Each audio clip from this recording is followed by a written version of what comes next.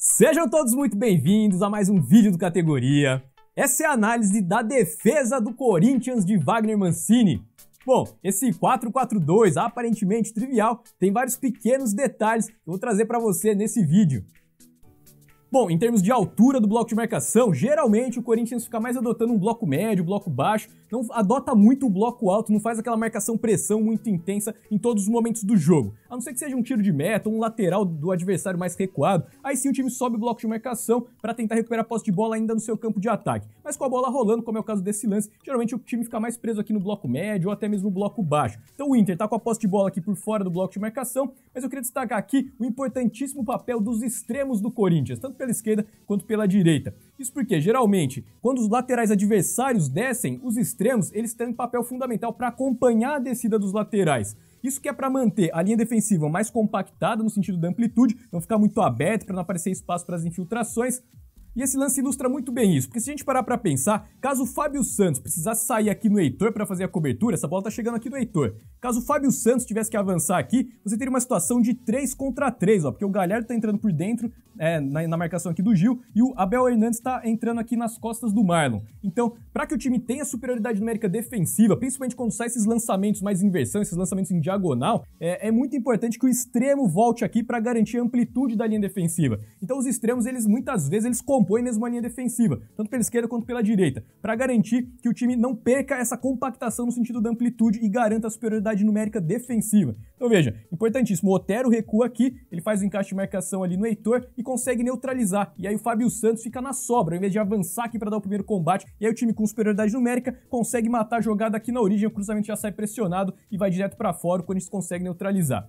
Aqui um outro lance do mesmo jogo, né, contra o Inter, para mostrar de novo o posicionamento dos extremos, como eles ficam bem abertos quando os laterais adversários eles avançam bastante. Então a gente pode ver aqui a linha defensiva bem postada, é, bastante compactação no sentido da amplitude, a linha defensiva não está bem aberta. Isso porque, mesmo que o time do, do, mesmo que o adversário tenha jogadores abertos descendo, aqui pela direita tá o Edenilson, é, lá pela esquerda, se não me engano, tá, tá o Wendel, é, pelo Inter. Você pode ver que o Ramiro tá aqui fazendo a marcação. E aqui pela esquerda, se não me engano, tá o Otero. Então o time fica bem, os extremos ficam bem abertos e os dois volantes eles ficam com bastante mobilidade aqui para avançar cobrindo a bola, dobrar uma marcação ou fazer a cobertura, mas esse é um ponto que a gente já vai ver mais adiante nessa análise. Por enquanto, vamos prestar atenção apenas no posicionamento dos extremos, ó, bastante amplitude. Isso garante praticamente que a linha defensiva fique bem fechada aqui e tenha sempre superioridade numérica. Caso essa bola seja alçada para a área, tente um lançamento nas costas da defesa, você consegue neutralizar um pouco melhor. Então, esse é o posicionamento dos extremos que é muito importante.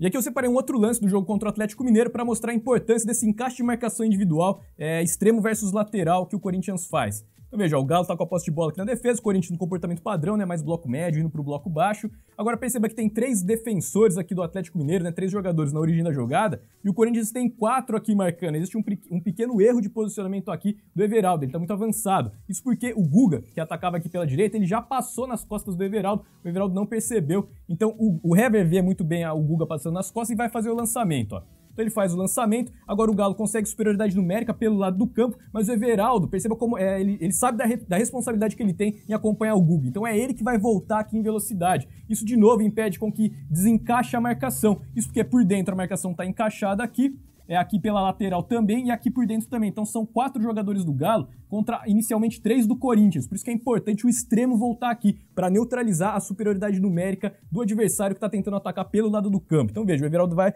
voltar com muita velocidade né, para recompor o bloco, ele vai ganhar a frente, protege, aí a marcação está encaixada, o Atlético Mineiro é obrigado a recuar a posse de bola. Então dessa forma o Corinthians vai impedindo com que o adversário consiga avançar pelos lados do campo e tentar criar jogadas de finalização. Muito por conta desse encaixe de marcação individual que os extremos fazem nos laterais.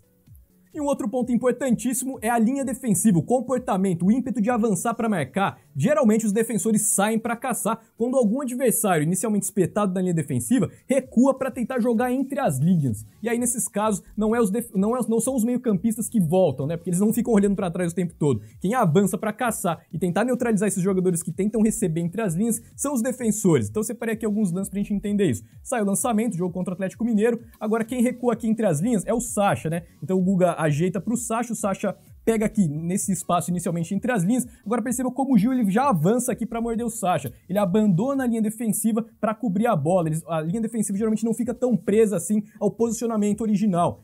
Geralmente quando esse jogador recua, né, um jogador que inicialmente estava espetado na linha defensiva recua, os jogadores avançam para caçar. Então mais uma vez aqui, ó, mesmo jogo, Corinthians Atlético Mineiro, perceba como a linha defensiva fica quebrada aqui, o Gil avança, porque aqui, se não me engano, é o Franco, é, não, é o Zarate que tá recuando aqui entre as linhas, é, na verdade ele tá passando, né, nas costas da linha defensiva para tentar jogar nesse espaço que é muito perigoso. Então, quem é responsável por pegar esses jogadores entre as linhas, geralmente é a defesa, são os defensores que avançam. Pelo centro aqui os zagueiros avançam, pelas laterais também os laterais avançam. Agora, claro que é, é perceptível que muitas vezes aparece espaço aqui nas costas da defesa, não é recomendável que essa linha defensiva fique se quebrando o tempo todo, mas a gente já vai ver que o Corinthians tem um comportamento para conseguir neutralizar esse buraco. Por hora, é importante a gente observar isso, como os defensores avançam e acabam quebrando a linha defensiva, mas para eliminar aquele jogador que tenta buscar entre as linhas.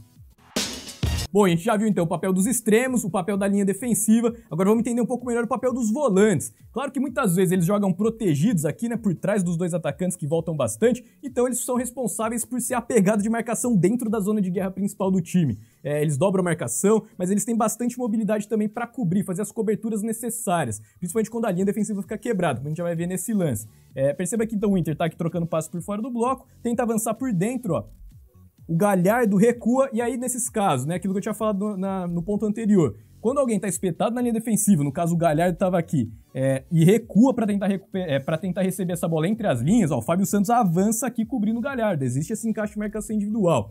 Aqui aberto, não está mostrando na imagem, mas o lateral do Inter está descendo, o extremo também, também aquele encaixe de marcação inicial, né, que a gente viu é, nos primeiros pontos da análise. Agora, fundamental é isso, a linha defensiva fica quebrada.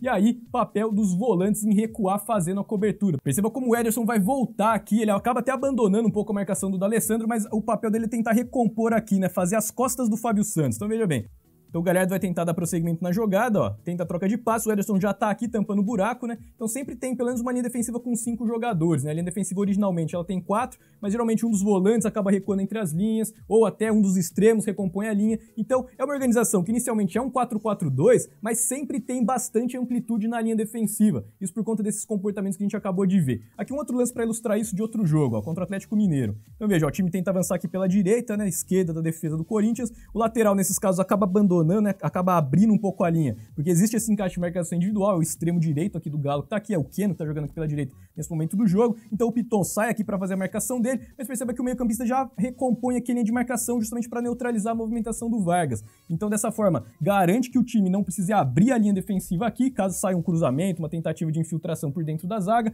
o Gil e o Marlon estão bem postados aqui, não precisam abrir para acompanhar a descida aqui do Vargas, o meio-campista é responsável por fazer isso, o time mantém aquela compactação defensiva. Então é um desenho defensivo flexível, mas o princípio é o mesmo, sempre manter a proteção aqui na região mais perigosa. Esse é um dos pontos principais desse início de trabalho do Mancini no Corinthians. O sistema defensivo está realmente bem mais sólido. Bom, essa então foi a análise do comportamento da defesa do Corinthians. Se você gostou, compartilhe esse vídeo à vontade e eu vou ficando por aqui. Grande abraço para todo mundo que me acompanha e até o próximo vídeo.